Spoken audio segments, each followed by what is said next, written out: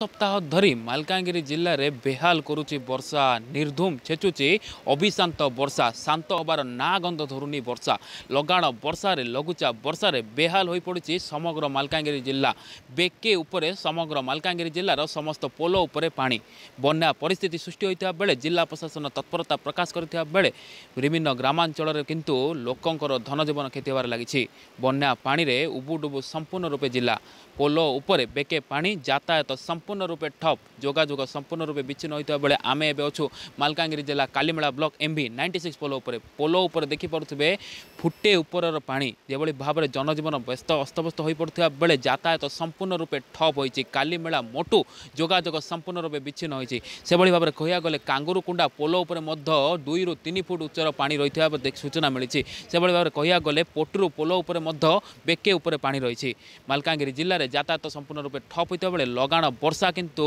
ଥମିବାର ନାଁ ଗନ୍ଧ ଧରୁନାହିଁ ଲଗାଣ ବର୍ଷାରେ ବେହାଲ ହୋଇଥିବା ମାଲକାନଗିରି ଜିଲ୍ଲାରେ ବନ୍ୟା ପରିସ୍ଥିତି ସୃଷ୍ଟି ହୋଇଥିବା ବେଳେ ଜିଲ୍ଲା ପ୍ରଶାସନ ଏବଂ ଏନ୍ଡିଆର୍ଏଫ୍ ସଜାଗ ରହିଥିବା ସୂଚନା ମିଳିଛି ଆମେ ଏବେ ଅଛୁ ଏମ୍ବି ନାଇଣ୍ଟି ସିକ୍ସ ପୋଲ ଉପରେ ଦେଖିପାରୁଥିବେ ପୋଲର ସ୍ଥିତି ପୋଲ ଉପରେ ପ୍ରାୟତଃ ଦୁଇରୁ ଚାରି ଫୁଟ ଉପର ପାଣି ରହିଛି ଯେଭଳି ଭାବରେ ଯାତାୟାତ ସମ୍ପୂର୍ଣ୍ଣ ରୂପେ ଠପ୍ ହୋଇଛି କାଲିମେଳା ମୋଟୁ ଯୋଗାଯୋଗ ସମ୍ପୂର୍ଣ୍ଣ ରୂପେ ବିଚ୍ଛିନ୍ନ ହୋଇଛି କାଲିମେଳାର ମାଲକାନଗିରି ଜିଲ୍ଲାର ଏମ୍ବି ନାଇଣ୍ଟି ସିକ୍ସ ପୋଲଟି ନିମ୍ନ ତଳନର ହୋଇଥିବାରୁ ଦୀର୍ଘ ବର୍ଷ ଧରି ଏମ୍ବି ନାଇଣ୍ଟି ସିକ୍ସ ଗ୍ରାମ ବାସିନ୍ଦା ଏବଂ ସ୍ଥାନୀୟ ପ୍ରଶାସନକୁ ବାରମ୍ବାର ଦାବି କରୁଥିଲେ ହେଲେ ଦାବି ପୂରଣ ହୋଇନଥିବାରୁ ଏଭଳି ଦୁର୍ଦ୍ଦଶା ଭୋଗୁଛନ୍ତି ପ୍ରତିବର୍ଷ ଦୀର୍ଘ ବର୍ଷ ଧରି ଦୀର୍ଘ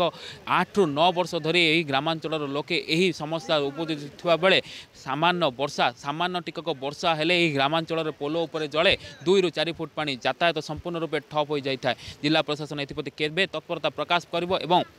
ରାଜ୍ୟ ରାଜ୍ୟ ରାଜପଥରେ ତିନିଶହ ଛବିଶ ନମ୍ବର ଜାତୀୟ ରାଜପଥରେ କେବେ ପୋଲ ନିର୍ମାଣ ସମ୍ପୂର୍ଣ୍ଣ ହେବ ତାହା ଦେଖିବାକୁ ବାକି ରହିଲା ମାଲକାନଗିରିରୁ ସୁରଜ କୁମାର ବିରାଦିଗଡ଼ ଡଟ୍ ଇନ୍